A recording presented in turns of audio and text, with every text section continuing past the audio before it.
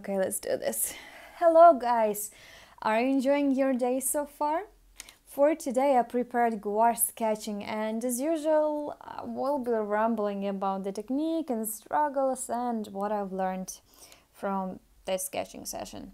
I had clear idea what I wanted to focus on and achieve from this session, and so then I found good reference. But my reasons for today's gouache are first of all to practice midday and twilight and how the shade behave in these situations. Secondly, practice perspective and thinking in shapes or the detail details. Third one, how to draw glass window and how it reflects object. And fourth one is to well, as usual, again, pretty color combinations. One reference was from some guy Insta story, and another one was my own recent photo. I will show them in the end so you will see them in comparison with the result of sketching and you will be able to see what I did stick to and what I dismissed during this sketching.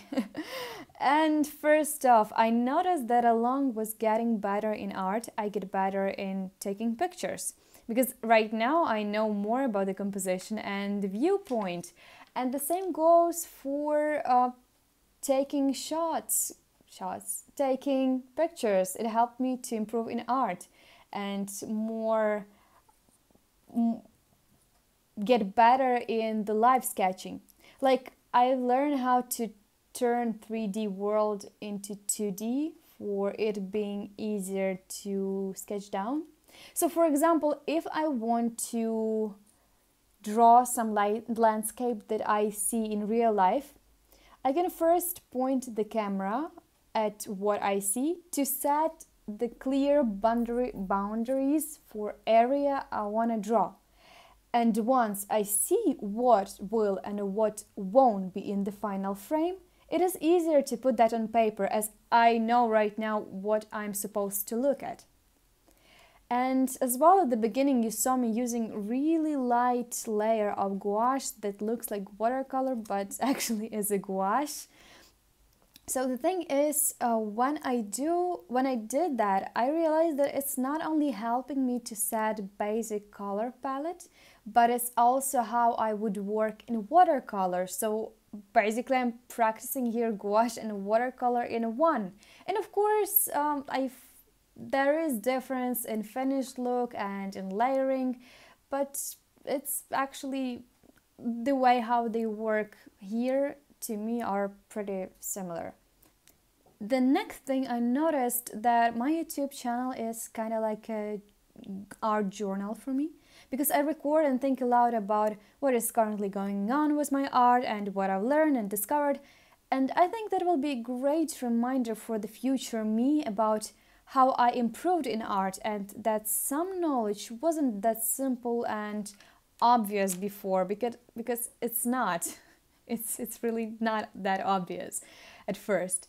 And I would definitely recommend you to find a way to somehow record your improvement as it will give you sense of achievement and will probably cheer you up in the future. As well in comparison to my older gouache sketch, I've used flat and roundy flat brushes here, which saved me so much time and enabled me to going into detailing, detailing too much so that I was able to get those wide but precise strokes and practice shape over going into deep, deep details. It also helped that I could not bend to the paintings closely because of the camera, camera setup and keeping distance helped to see value spots and shapes as well. You will also notice that on some areas I spent more time to get needed color and darkness like on the first one was window and upper area, I constantly kept going back to darken and lighten it up. And on the second one, I struggled the most with left bottom corner of the road uh, with trees and skies. Like first of all, I wanted to simplify trees as there were too many branches on the reference. And I also couldn't see what color the leaves and upper branches were, so I tried light yellow, light orange, rose, and purple and blue, and in the end just settled on the greenish kind of tone. Then I noticed that the skies and trees were competing in attention, and I've managed to deal with that.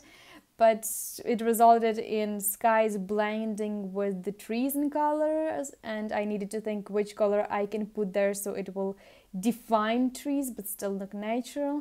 Yeah, in the end, I'm happy with the result, and the process of painting pushed me to think and experiment, and that is the most awesome part. So, yes, thank you for watching and talk to me.